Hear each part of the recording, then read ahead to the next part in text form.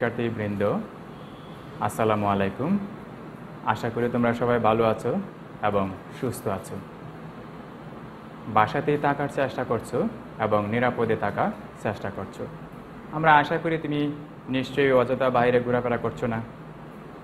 তুমি তোমার প্রয়োজনে বাইরে গেলেও অবশ্যই সতর্কতার সাথে মাস্ক পরিধান করছ এবং সাবান দিয়ে সবসময় নিয়মিত হাত পরিষ্কার করে রাখার চেষ্টা করছ।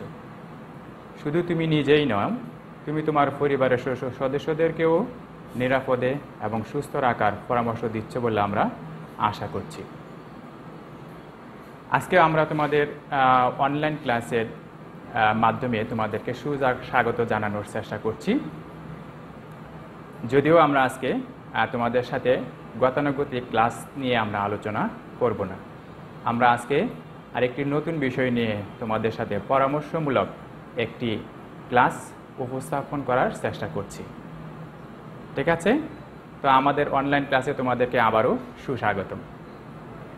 তো প্রথমে আমরা আমাদের পরিচয়ের কার্যক্রম শেষ করে নিতে চাচ্ছি।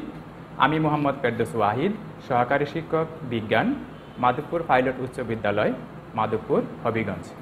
এখানে আমাদের মোবাইল নাম্বার দেওয়া আছে এবং আমাদের ইমেল নাম্বারও দেওয়া আছে। তোমাদের যে কোনো পরামর্শের জন্য আমাদের সাথে যোগাযোগ করতে পারো। ঠিক আছে?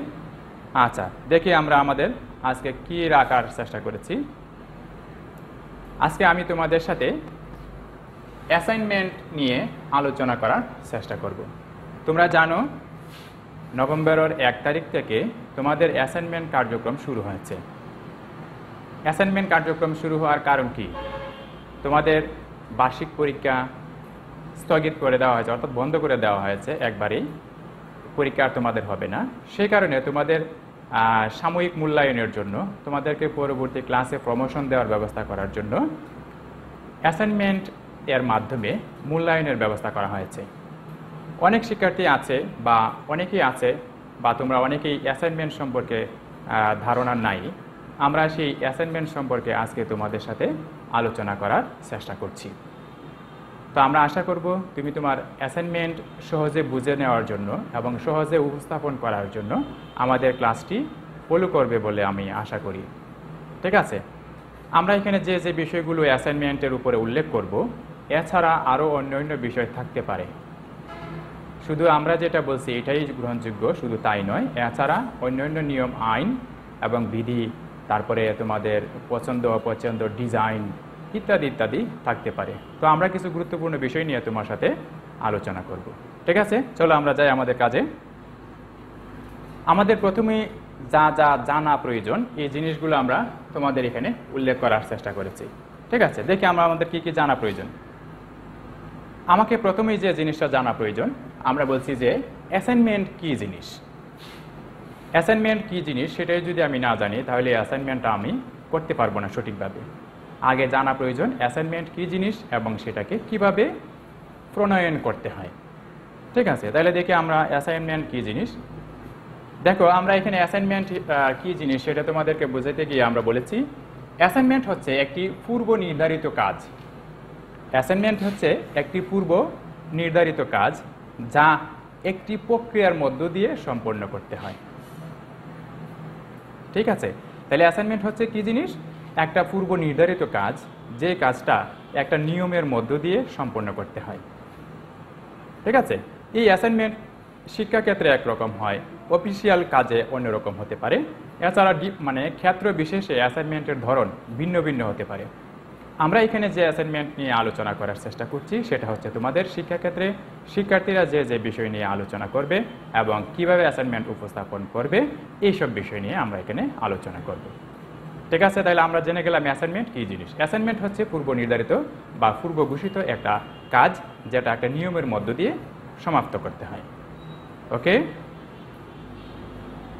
আচ্ছা এবার আমরা জানব অ্যাসাইনমেন্টে কি কি থাকা প্রয়োজন। আমরা এখানে বলছি অ্যাসাইনমেন্টে কি কি জিনিস প্রয়োজন বলে আমরা মনে করছি। আর এই বিষয়টা আমি আগেই বলেছি যে যেহেতু আমরা শিক্ষার্থীদের জন্য বা তোমাদের জন্য এই অ্যাসাইনমেন্টের নিয়মকানুনগুলোর কথা বলছি, সেটা অফিসিয়াল নয়। তোমাদের শিক্ষা খাতে শিক্ষার্থীরা যে যে বিষয়গুলো উপস্থাপন করবে, আমরা এই বিষয়গুলো নিয়ে আলোচনা করার চেষ্টা করছি। ঠিক আছে? আচ্ছা তাহলে আমরা দেখি কী কী থাকা প্রয়োজন। প্রথমে আমরা বলছি একটা কভার পৃষ্ঠা থাকবে। একটা কভার পৃষ্ঠা থাকবে, তারপরে দুই, কভার পৃষ্ঠার পরে ভূমিকা থাকবে, তারপরে সূচিপত্র তুমি ইচ্ছা করলে রাখতে পারো, নাও রাখতে পারো, তাতে কোনো সমস্যা নেই। তত্ত্বের উৎস থাকবে, তারপরে মূল বিষয় থাকবে, তারপরে সমাপ্তি থাকবে। অর্থাৎ একটা অ্যাসাইনমেন্টের জন্য আমাদের গুরুত্বপূর্ণ যে বিষয়গুলো তোমার প্রয়োজন বা যে যে বিষয়গুলোর গুরুত্ব সবচেয়ে বেশি, আমরা সেই কথাগুলো এখানে তুলে ধরার চেষ্টা করছি। প্রথমে আমাকে যেটা করতে হবে, আমরা বলছি একটা কভার পেজ দিতে হবে। একটা কভার পেজ দেওয়া প্রয়োজন, অর্থাৎ কোনো কিছুর সৌন্দর্য বৃদ্ধি করার জন্য আমরা সাধারণত কভার পেজ ব্যবহার করে থাকি। কভার পেজটা বিভিন্ন ডিজাইনের হতে পারে, বিভিন্ন নমুনার হতে পারে, তারপরে কালার হতে পারে, এছাড়া অন্য অন্য ডিজাইন, অর্থাৎ তোমাদের পছন্দ অনুযায়ী তুমি তোমার কভার পেজটা তৈরি করতে পারো। কভার পেজে কি কি জিনিস থাকবে সেগুলো আমরা একটু পরে দেখব। তারপরে থাকবে তুমি যখন অ্যাসাইনমেন্ট শুরু করবে, তখন ভূমিকা দিতে পারো। তুমি কোন বিষয়ে অ্যাসাইনমেন্ট শুরু করতেছো, এখানের মধ্যে তোমার কিছু বলার আছে কি না এই ধরনের একটা উৎসব বা বিভিন্ন প্রাসঙ্গিক বিষয়গুলো তুমি এখানে উল্লেখ করতে পারো। সূচিপত্রের যে বিষয়, সূচিপত্রের বিষয়টা সকল অ্যাসাইনমেন্টের বেলায় প্রযোজ্য নাও হতে পারে। আমরা এখানে সাধারণত কিছু কিছু ক্ষেত্রে অ্যাসাইনমেন্টের মধ্যে সূচিপত্র ব্যবহার করার চেষ্টা করি যদি একাধিক টপিক হয়ে থাকে তাহলে। আর যদি একাধিক টপিক না হয়, তাহলে আমাদের সূচিপত্র ব্যবহার করার খুব একটা প্রয়োজন নাই। তারপরে আছে আমাদের তত্ত্বের উৎস। তোমাকে যে অ্যাসাইনমেন্ট দেওয়া হয়েছে, সেই অ্যাসাইনমেন্টের কি কি তত্ত্ব প্রয়োজন? এই অ্যাসাইনমেন্টটা সম্পূর্ণ করার জন্য তোমার কোনো তত্ত্বের প্রয়োজন আছে কি না আর তত্ত্বের প্রয়োজন যদি থাকে, এই তত্ত্বগুলো তুমি কোথায় পাবে? এই তত্ত্বগুলো তুমি কোথায় পাবে? বা কোথা থেকে তুমি সংগ্রহ করবে? কোন জায়গা থেকে সংগ্রহ করবে, এটাই হচ্ছে উৎস। ঠিক আছে? তারপরে মূল বিষয়। অর্থাৎ তোমার গায়ে যে অ্যাসাইনমেন্টটা দেওয়া হয়েছে, এটাই হচ্ছে আমাদের মূল বিষয়। এই অ্যাসাইনমেন্টের উপরে বিস্তারিত ব্যাখ্যা আমরা এই মূল বিষয়ের মধ্যে উল্লেখ করার চেষ্টা করব। ঠিক আছে? সর্বশেষে হচ্ছে সমাপ্তি। সমাপ্তি আমরা কীভাবে দিব? সমাপ্তি এক একজন একেভাবে দিতে পারে। কেউ কেউ সরাসরি সমাপ্তি লিখে সমাপ্ত ঘোষণা করে, আবার কেউ কেউ সাবধানতা তারপরে বিদায় সম্ভাষণ, ইত্যাদি ইত্যাদি জানিয়ে জানিয়ে ধন্যবাদ, ইত্যাদি ইত্যাদি জানিয়ে কেউ কেউ সমাপ্তি ঘোষণা করতে পারে। ঠিক আছে? এবার দেখে আমরা কভার পৃষ্ঠাটা আমরা কি কি লিখব এবং কি কি জিনিস কভার পৃষ্ঠার মধ্যে থাকবে। প্রথমে আমরা বলছি কভার পৃষ্ঠার প্রথমে থাকবে অ্যাসাইনমেন্টের যে শিরোনাম। অ্যাসাইনমেন্ট আমাদেরকে যেটা দেওয়া হবে বা তোমরা যে বিষয়ের উপরে অ্যাসাইনমেন্ট করবে বা যে প্রশ্নটা দেওয়া থাকবে সেই প্রশ্নটাই হচ্ছে অ্যাসাইনমেন্টের শিরোনাম। ঠিক আছে? এই অ্যাসাইনমেন্টের শিরোনামটা কভার পেজের উপরে লিখবে। এবং সেটা তুমি ডিজাইন করতে পারো কালার করতে পারো কভার পেজটা প্রিন্ট করতে পারো, অর্থাৎ টাইপ করে প্রিন্ট করে সুন্দর করে কভার পেজটা তুমি দিতে পারো। তারপরে থাকবে তোমার বিষয়। বিষয়ের নাম, কি বিষয়ের উপরে তুমি অ্যাসাইনমেন্ট করছ? বাংলা, ইংরেজি, গণিত ইত্যাদি ইত্যাদি, রসায়ন, পদার্থ, জীববিজ্ঞান ইত্যাদি। অর্থাৎ যে বিষয়ের তুমি অ্যাসাইনমেন্ট করছ, সেই বিষয়ের নামটা এখানে লিখতে হবে। তারপরে তোমার পরিচয়। তুমি যে অর্থাৎ শিক্ষার্থীর পরিচয় বলতে আমরা বলছি তোমাকে। অর্থাৎ যিনি অ্যাসাইনমেন্টটা কি করবেন, উপস্থাপনা করবেন, সেই শিক্ষার্থী। অর্থাৎ তোমাকেই মেনশন করা হয়েছে, তুমি তোমার পরিচয় উপস্থাপন করবে। তোমার পরিচয় উপস্থাপন করতে গিয়ে এখানে তোমার নাম থাকবে, তোমার শ্রেণি থাকবে, তোমার বিষয় উল্লেখ থাকবে, তারপরে তোমার শাখা থাকতে পারে, তারপরে তোমার রোল নম্বর থাকতে পারে। ঠিক আছে? ইত্যাদি ইত্যাদি বিষয় এখানে থাকবে। তারপরে হচ্ছে শিক্ষকের পরিচয়। অর্থাৎ যিনি তোমাকে অ্যাসাইনমেন্ট করার জন্য নির্দেশনা দিচ্ছেন, তিনি হচ্ছে সেই শিক্ষক। অর্থাৎ ওই শিক্ষকের নাম, অর্থাৎ যিনি তোমাকে অ্যাসাইনমেন্ট প্রণয়ন করেছেন, অর্থাৎ যিনি অ্যাসাইনমেন্ট তোমাকে দিয়েছেন, প্রদান করেছেন তার নাম, ঠিকানা, অর্থাৎ স্কুলের নাম সহ উনি যে বিষয়ের শিক্ষক, ওই বিষয়গুলো তুমি এখানে উল্লেখ করতে পারো। ওকে? তারপরে আছে তোমাদের বিদ্যালয়ের পরিচয়। তোমার স্কুলটা কোথায়? স্কুলের নাম এবং স্কুলের ঠিকানা ইত্যাদি হতে পারে। তারপরে আমরা বলছি পেজ ডিজাইন। তুমি এই পেজটাকে ডিজাইন করতে পারো। কীভাবে তুমি ডিজাইন করতে পারো? তোমার মানসিকতার উপর নির্ভর করবে। তুমি পেজটাকে কীভাবে সুন্দর করতে পারো? তোমার অ্যাসাইনমেন্টটাকে তুমি কীভাবে সুন্দর করতে পারো? ডিজাইন করতে পারো? ওই বিষয়গুলোর কথা আমরা এখানে বলেছি। এক একজন এক একভাবে ডিজাইন করবে। কেউ ডিজাইন সারা এমনি রেখে দিবে। কেউ বাইন্ডিং করবে। কেউ স্প্যারেল বাইন্ডিং করবে। কেউ ফিন করে দিয়ে দিবে। ঠিক না? আমরা বলছি, তুমি তোমার পেজটাকে যত সুন্দরভাবে সাজাতে পারো। এটাই হচ্ছে পেজ ডিজাইন আমরা দেখো, তোমাদেরকে এখানে একটা পেজ ফ্রন্ট পেজ অর্থাৎ কভার পেজের একটা নমুনা দিয়েছি এখানে। এই হচ্ছে আমাদের একটা কভার পেজের নমুনা। এখানে হচ্ছে তোমাদের প্রথম যে অ্যাসাইনমেন্টটা শিক্ষা মন্ত্রণালয় থেকে দেওয়া হয়েছে বিশেষ করে এটা হচ্ছে রসায়ন বিজ্ঞানের একটা অ্যাসাইনমেন্টের প্রথম অ্যাসাইনমেন্ট যেটা। আমরা এখানে লিখেছি অ্যাসাইনমেন্টের নাম, এটা। লিখে পুরাটা আমরা এখানে দিয়ে দিয়েছি। তারপরে আমরা দিয়েছি নির্দেশনায়। যে শিক্ষক নির্দেশনা দিয়েছেন অ্যাসাইনমেন্ট তৈরি করার জন্য ওনার নাম, ঠিকানা, তারপরে উপস্থাপনায়। যে শিক্ষার্থী এই অ্যাসাইনমেন্টটাকে উপস্থাপন করেছে, তার নাম, শ্রেণি, বিভাগ, বিষয়, তারপরে রুল নাম্বার ইত্যাদি বিষয় আমরা এখানে উল্লেখ করেছি। সর্বশেষে আমরা লিখেছি আমাদের বিদ্যালয়ের নাম। অর্থাৎ তুমি যে বিদ্যালয়ে পড়াশোনা করছ, ওই বিদ্যালয়ের নাম এই কভার পেজে উল্লেখ থাকতে পারে। আমরা এখানে একটা নর্মাল কভার পেজ দেখানোর চেষ্টা করেছি। আমরা আরেকটা কভার পেজ দেখার চেষ্টা করব। দেখো, এখানে আমরা বলেছি, এখানে একটা ছবি দিয়েছি আমরা। এই ছবিটা হচ্ছে করোনা ভাইরাসের ছবি। এখানে আমরা আরেকটা ছবি রেখেছি, জাতির জনক বঙ্গবন্ধু শেখ মুজিবুর রহমানের একটা ছবি আমরা এখানে অ্যাড করার চেষ্টা করেছি। তুমি ইচ্ছা করলে এইভাবেও তুমি ডিজাইন করতে পারো এবং আমাদের এই অ্যাসাইনমেন্ট উপস্থাপনা করার জন্য এই নর্মালি অর্থাৎ এই ডিজাইনটাও তুমি সংযুক্ত করতে পারো। এভাবে আমরা কভার পেজটা তৈরি করব। এছাড়া তুমি তোমার বিদ্যালয়ের নাম নর্মালি তোমার বিদ্যালয়ের নাম, তোমার রোল নম্বর তোমার শিক্ষকের নাম, তারপরে কোনো কোনো ক্ষেত্রে তারিখ উল্লেখ করা থাকে। ঠিক আছে? তুমি তোমার বিদ্যালয়ে যে তারিখে অ্যাসাইনমেন্ট উপস্থাপন করা হয়েছে বা প্রদান করা হয়েছে, সেই তারিখটা উল্লেখ করতে পারো। ক্লিয়ার আচ্ছা তাহলে আমাদের গেল কভার পেজের বিষয়। এবার আমাদের অ্যাসাইনমেন্ট আমরা লিখব। অ্যাসাইনমেন্টের কিছু প্রয়োজনীয় জিনিস আমাদের জানা প্রয়োজন। কি কি প্রয়োজনীয় জিনিস আছে? এক নম্বর প্রয়োজনীয় জিনিস হিসেবে আমরা মনে করার চেষ্টা করেছি যে আসলে আমরা যা ভালো মনে করার চেষ্টা করছি সেটার কথাই বলছি। প্রথমেই হচ্ছে অ্যাসাইনমেন্টের সৌন্দর্য যাতে রক্ষা হয়। তোমার এই অ্যাসাইনমেন্টের সৌন্দর্য রক্ষা করার জন্য তুমি যেভাবে ডিজাইন করতে চাও যেভাবে লেখাটা উপস্থাপন করতে চাও, তুমি সেভাবেই করবে। অর্থাৎ তোমার অ্যাসাইনমেন্ট যেন সুন্দর হয়।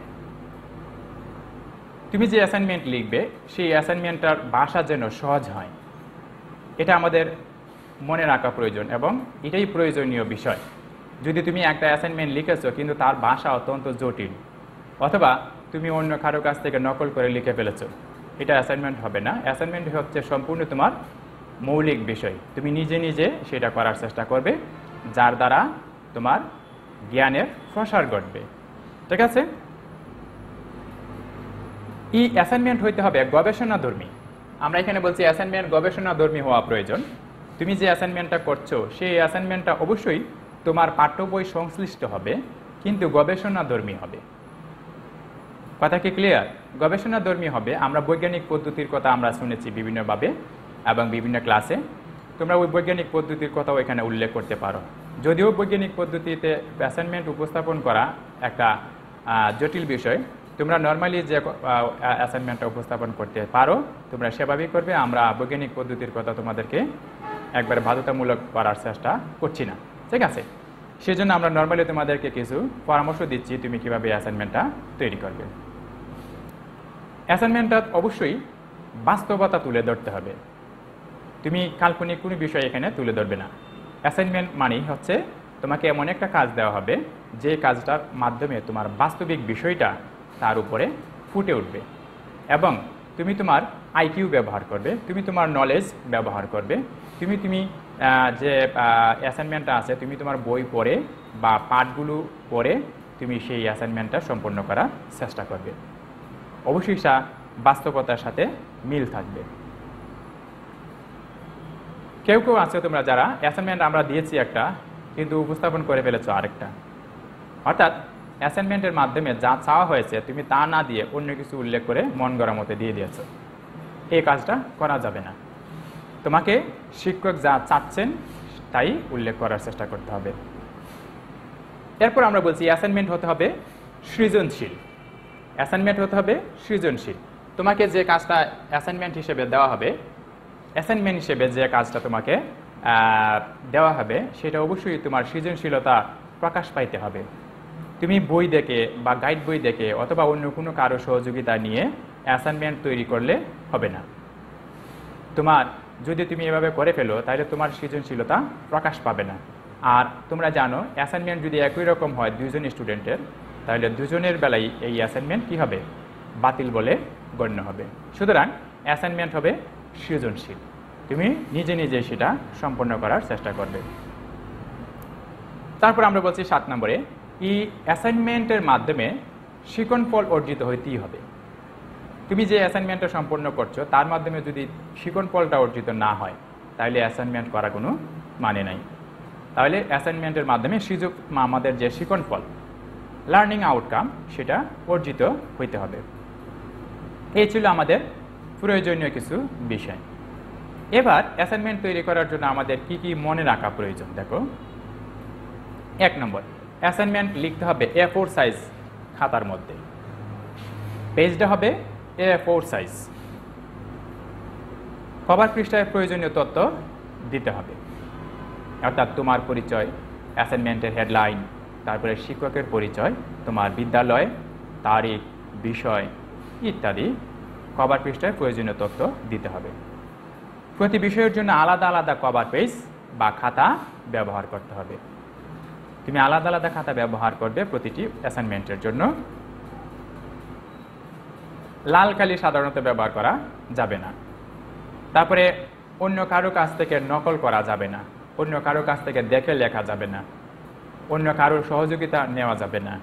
তুমি তোমার অ্যাসাইনমেন্ট তুমি তোমার নিজের মতো করবে এবং নিজের আইকিউ ব্যবহার করবে এবং নিজের যে নলেজটা আছে সেটা ব্যবহার করে তুমি সেটা সমাধান করার চেষ্টা করবে। আমরা আগেই বলেছি অ্যাসাইনমেন্টটা সাধারণত তোমার বইয়ের ভিতর থেকেই দেওয়া হবে। তোমার টপিকের সাথে সংশ্লিষ্ট বিষয় রেখে অ্যাসাইনমেন্ট হিসেবে দেওয়া হয়। তো সেক্ষেত্রে তুমি তোমার বইটা ভালো করে পড়ে নিলে অ্যাসাইনমেন্টগুলো সমাধান করা সম্ভব। এখানে আরেকটা জিনিস আমাদের মনে রাখা প্রয়োজন। হাতের লেখা সুন্দর হইতে হবে এবং পরিষ্কার হওয়া বাঞ্ছনীয়। আমরা অনেকে কি করি? হাতের লেখা সুন্দর করি না। মন গড়ার মধ্যে ইচ্ছা ঠাঁই কতক্ষণ লিখে যা মনে আসছে তাই লিখে আমরা কাগজপত্র জমা দিয়ে দেই। এই কাজটা করা যাবে না। হাতের লেখা সুন্দর হইতে হবে এবং পরিষ্কার হইতে হবে। শিকন ফল অর্জন হয়েছে কিনা এদিকে আমাদেরকে খেয়াল রাখতে হবে। কারণ আমি যা যা বিষয় নিয়ে কাজ করতেছি, সেই বিষয়ে যদি উঠে না আসলো, তাহলে আমার অ্যাসাইনমেন্টটার ফলপ্রসূ হবে না। অর্থাৎ এখানে অ্যাসাইনমেন্টের গুরুত্ব কমে যাবে। এবং সেটা অবশ্যই নির্ধারিত সময়ের মধ্যে জমা দিতে হবে। তাহলে আমরা এখানে তোমাদেরকে যে কাজগুলোর কথা বলছি, যা যা মনে রাখা প্রয়োজন এফোর সাইজের খাতা হইতে হবে কপার পৃষ্ঠার প্রয়োজনীয় তথ্য দিতে হবে, তারপরে প্রতি বিষয়ের জন্য আলাদা আলাদা পেজ ব্যবহার করতে হবে, তারপরে আমরা বলছি লাল কালি ব্যবহার করা যাবে না, তারপরে অন্যজনের কাছ থেকে সহযোগিতা নেওয়া যাবে না, তারপরে হাতের লেখা সুন্দর ও পরিষ্কার হইতে হবে তারপরে শিকন ফল অর্জন হয়েছে কিনা তা লক্ষ্য করতে হবে। তারপরে নির্ধারিত সময়ের মধ্যে আমাদের সেই অ্যাসাইনমেন্ট জমা দিতে হবে। এই বিষয়গুলো আমাদের মনে রাখা প্রয়োজন। এখন আমরা বলছি তত্ত্বের উৎস। তুমি সেই তত্ত্ব কোথায় পাবে? আমরা বলেছি, তোমাকে যে অ্যাসাইনমেন্ট দেওয়া হয়েছে, তার তত্ত্ব কোথায় পেয়েছ, তার সুনির্দিষ্টতা দেখাতে হবে। অর্থাৎ, এই অ্যাসাইনমেন্ট সম্পন্ন করার জন্য তুমি যেখান থেকে তত্ত্ব নিয়েছ, তার নাম উল্লেখ করতে হবে। ঠিক আছে? মূল বিষয়। আমাকে খেয়াল করতে হবে প্রশ্নের দিকে। আমার কাছে কি চেয়েছে? অর্থাৎ অ্যাসাইনমেন্টের বিষয়বস্তু কি জিনিস? অ্যাসাইনমেন্টের বিষয়বস্তু কি? তুমি সেই বিষয়ের উপর ভিত্তি করে তুমি এখানে বিস্তারিত ব্যাখ্যা করবে। যদি এই অ্যাসাইনমেন্টের মধ্যে কোনো পরীক্ষণের কথা বলা হয়, তাহলে পরীক্ষণের যাবতীয় যা তত্ত্ব আছে, উপকরণ, তত্ত্ব পরীক্ষণ ফলাফল, সিদ্ধান্ত এবং প্রতিবেদন প্রকাশ। এবং সর্বশেষে তাকে সুপারিশ, এই জিনিসগুলো উল্লেখ করতে হবে। সেই ক্ষেত্রে তোমাকে মনে রাখতে হবে পরীক্ষণের ছবি দেওয়া বাধ্যতামূলক। তোমাকে পরীক্ষার যে ছবিটা আছে, সেই ছবিটা তোমাকে এঁকে দিতে হবে। ঠিক আছে? আচ্ছা। এরপর আমরা বলছি, সমাপ্তির দিকে আমরা যাব। সমাপ্তির দিকে আমরা কীভাবে যাব বলছি? সকল কাজ সম্পূর্ণ করার পরে আমরা অনেকে কি করি? সমাপ্তি ঘোষণা করি যে আজকের মতো এখানেই সমাপ্ত। ঠিক আছে? তোমরা আমার অনেকে পরীক্ষার খাতায় লেখো, সমাপ্ত। শেষ। এই ধরনের দা ইন্ড এই ধরনের শব্দ তোমরা ব্যবহার করে থাকো। আসলে আমরা এটা বলছি না। এখানে সমাপ্ত বলতে বোঝানো হয়েছে কোনো কোনো ক্ষেত্রে, যেমন পরীক্ষণের বেলায় সিদ্ধান্ত বা ফলাফল প্রকাশের মাধ্যমে আমরা পরীক্ষণটা সমাপ্ত ঘোষণা করতে পারি। আবার যদি ফিজিক্স বা কেমিস্ট্রির হয় অথবা বায়োলজির হয়, কোনো এক্সপেরিমেন্ট হয়, তাহলে আমরা সিদ্ধান্তের মাধ্যমে সমাপ্ত ঘোষণা করতে পারি। আবার কোনো কোনো ক্ষেত্রে আমরা প্রতিবেদন প্রকাশের মাধ্যমে সমাপ্ত ঘোষণা করতে পারি। আবার কোনো কোনো ক্ষেত্রে আমরা সুপারিশ প্রণয়নের মাধ্যমে সমাপ্ত ঘোষণা করতে পারি। তুমি তোমার অ্যাসাইনমেন্টের উপরে নির্ভর করবে যে তোমার সর্বশেষ সমাপ্তির কি দিয়ে করবে। সাবধানতা দিয়ে করবে, ফলাফল দিয়ে করবে, না সিদ্ধান্ত দিয়ে করবে নাকি প্রতিবেদন দিয়ে করবে নাকি কোনো সুপারিশ দিয়ে করবে। তাহলে আমরা এখানে বলেছি, যদি অ্যাসাইনমেন্টটা পরীক্ষামূলক হয়, তাহলে অবশ্যই অবশ্যই তোমাকে আবার সাবধানতার বিষয়টিও উল্লেখ করতে হবে। তুমি পরীক্ষাটা করতে গিয়ে কি কি সাবধানতা অবলম্বন করেছ? ঠিক আছে? এইগুলো হচ্ছে আমার সমাপ্তি বিষয়। তাহলে আমরা আজকে এখানে তোমাদের শেষ পর্যায়ে চলে এসেছি। আমরা অ্যাসাইনমেন্ট কার্যক্রম শেষ করতে গিয়ে কোনো কোনো ক্ষেত্রে তোমাদেরকে বলা হয়েছে, সৃজনশীল প্রশ্ন দেওয়া হয়েছে সরাসরি। কিন্তু সৃজনশীল প্রশ্নটা সরাসরি তোমার বইয়ে না থাকলেও এর সংশ্লিষ্ট টপিকগুলি তোমার বইয়ে আছে। তুমি ইচ্ছা করলে সেগুলো সংগ্রহ করতে পারো এবং পরে নিতে পারো, নিলে তোমার অ্যাসাইনমেন্টটা সমস্যাটা সমাধান করতে বা অ্যাসাইনমেন্টটা সম্পন্ন করতে সহজ হবে। তবে একটা জিনিস মনে রাখা প্রয়োজন অ্যাসাইনমেন্টের মধ্যে তুমি অপ্রাসঙ্গিক অবাস্তবিক। কোনো কথা বলবে না বা অপ্রাসঙ্গিক বা অবাস্তবিক কোনো কথা উল্লেখ করবে না। তারপরে তুমি যদি মনে করো যে না, আমি অ্যাসাইনমেন্টের কার্যক্রমটা কোনো অন্য জায়গা থেকে সংগ্রহ করব, পত্রিকা থেকে, তারপরে টিভি নিউজ থেকে, তারপরে অনলাইন থেকে, সেক্ষেত্রে তোমাকে একটা জিনিস মনে রাখতে হবে, যে জায়গা থেকে তুমি তার তত্ত্ব নিবে, সেই তত্ত্বের রেফারেন্স উল্লেখ করা প্রয়োজন। তোমাকে অবশ্যই বাহির থেকে কোথাও থেকে তথ্য যদি তুমি সংগ্রহ করো, তাহলে তোমাকে সেই তথ্যের রেফারেন্স দিতে হবে। আর যদি তথ্যের রেফারেন্স না দাও, তাহলে সেটা কপিরাইটের আওতায় পড়ে যাবে। অর্থাৎ আইসিটির আইনে তুমি অপরাধী হয়ে যাবে। সেক্ষেত্রে আমরা তোমাদেরকে বলব, তুমি যেখান থেকে তথ্য নেও না কেন, তার রেফারেন্স উল্লেখ করা প্রয়োজন। ঠিক আছে? তবে আমরা আশা করব, এই অ্যাসাইনমেন্টের আলোচনাটা তোমাদের বা যে ছবিগুলো আমরা দেখিয়েছি কভার পেজটা তোমরা কীভাবে লিখবে আমি আশা করব তোমাদের অ্যাসাইনমেন্টের কাজে একটু হলেও সহযোগিতা করবে। ঠিক আছে? তাহলে পরবর্তীতে যদি তোমাদের আরও কোনো অ্যাসাইনমেন্টের বিষয়ে আলোচনার বা জানার প্রয়োজন পড়ে, তাহলে তোমরা আমাদের সাথে শেয়ার করতে পারো আমাদের মোবাইল নম্বর অথবা ইমেল নাম্বারের মাধ্যমে। সেই পর্যন্ত তোমরা সবাই সুস্থ থাকো, ভালো থাকো, নিরাপদে থাকো। এই এবং তোমাদের সুস্বাস্থ্য ও দীর্ঘায়ু কামনা করে আমি আমার অ্যাসাইনমেন্ট বিষয়ক আলোচনা এখানেই সমাপ্তির ঘোষণা করছি। সবাই ভালো থাকো সুস্থ থাকো। আল্লাহ হাফেজ।